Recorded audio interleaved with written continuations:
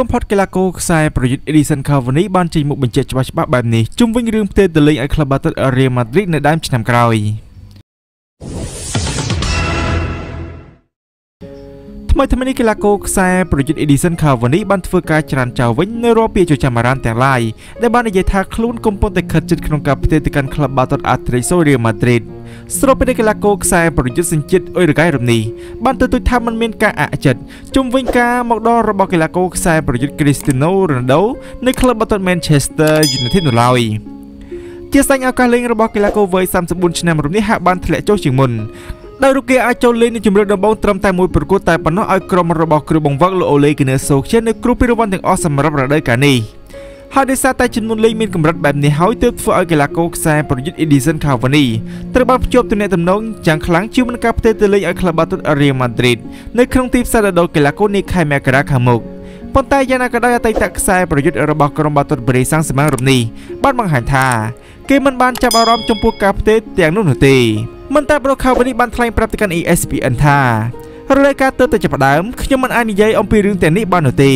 ពួកគេបាននិយាយអំពីវាជាច្រើនហើយពួកគេនឹងបន្តនិយាយអំពីវាតទៅទៀតជាពិសេសចំពោះសារព័ត៌មានដែលពួកគេត្រូវការមានរឿងដែលត្រូវចុះផ្សាយដើម្បីជាផលប្រយោជន៍របស់ពួកគេ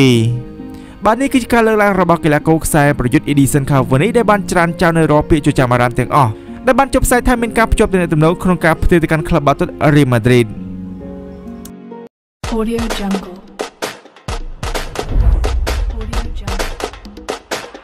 កីឡាករខ្សែបម្រើមេរលីមចានិកថាប្រសិនបើក្រុមបាសេឡូណាចង់វិលមករូបភាពជោគជ័យឡើងវិញពួកគេចាំបាច់ត្រូវតែធ្វើរឿងមួយនេះជាមុនសិន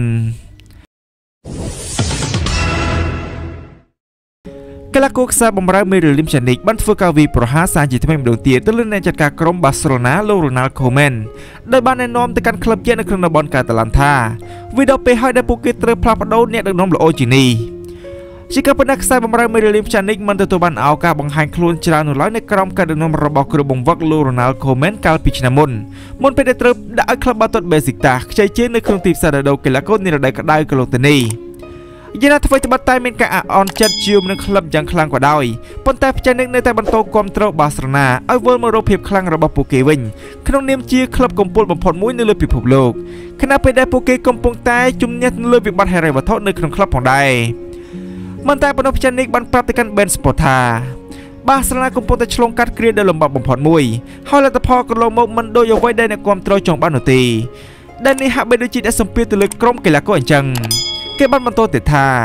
ក្លឹបប្រហែលជាត្រូវការអ្នកដឹកនាំថ្មីដ៏ល្អម្នាក់ដើម្បីធ្វើឲ្យពួកគេវិលមករកភាពជោគជ័យឡើងវិញក្រុមបាសេឡូណានឹងវិលទៅរកអតីតកាលរបស់ខ្លួនវិញប៉ុន្តែវាត្រូវការពេលវេលាខ្លះ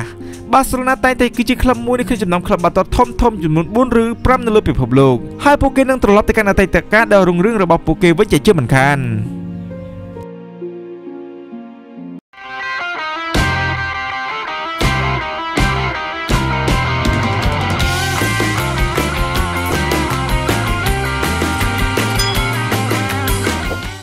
អតីតតារាឆ្នាំរបស់ក្រុមបាល់ទាត់តាវ Q Chelsea ម្នាក់ទទួលបានការកោះហៅចូលរួមនៅក្នុងក្រុមបាល់ទាត់ជម្រើសជាតិអង់គ្លេសម្ដងទៀតក្រោយមានភាពលេចធ្លោនៅទ្រឹមថ្មី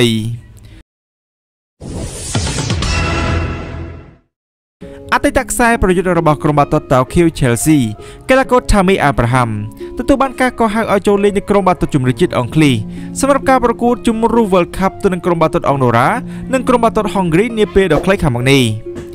ជាសែងកីឡាករចេញពីថ្នាយុវជនរបស់ក្រុមបាល់ទាត់តាវ Q Chelsea រំនេះបានសម្រេចចិត្តផ្ទេរទៅចូលរួមជាមួយក្លឹបបាល់ទាត់ AF Roma នៅក្នុងកិច្ចព្រមព្រៀងមួយដែលមានតម្លៃប្រមាណ34លានផោននៅអំឡុងរដូវក្តៅខណៈដែលនៅទីនោះរូបគេក៏បានជួបជុំជាមួយអតីតគ្រូបង្វឹកក្រុមបាល់ទាត់តាវ Q Chelsea លោក Jose Mourinho ផងដែរ